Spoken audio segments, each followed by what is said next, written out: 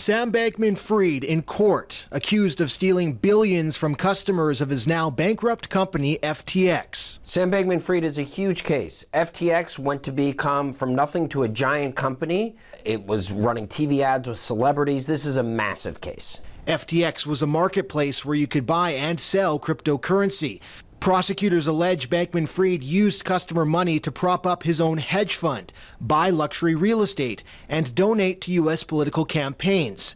The 31 year old pleaded not guilty to the charges against him, but admitted publicly in the past to making mistakes in the FTX collapse. He's violated the conventional wisdom of all criminal defense lawyers. Don't talk to anyone, keep quiet, keep low, keep a very quiet profile. Lawyers for Bankman Fried describe him as a math nerd who didn't pay attention to risk management. Prosecutors argue the former billionaire orchestrated a scheme to build an empire. One Canadian crypto researcher says the case will provide lessons for the entire industry. The SBF case will be looked upon as the sort of key milestone narrative that told the world and investors that you need adults in the room. FTX was operating out of the Bahamas, where Bankman Fried was arrested last December. The company was previously based in Hong Kong.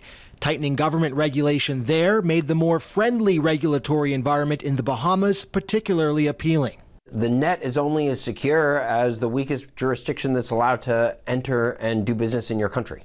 Which is why consumers are urged to do their homework before putting money into a crypto exchange. I would recommend that Canadians use ones that that have decided to make the investment in operating here in Canada under the regulatory regime. Bankman Fried's trial could last weeks. Prosecutors say they will call former members of his inner circle to testify against him. And if he's convicted, he could face more than 100 years in prison. Joel Senick, Global News, Washington.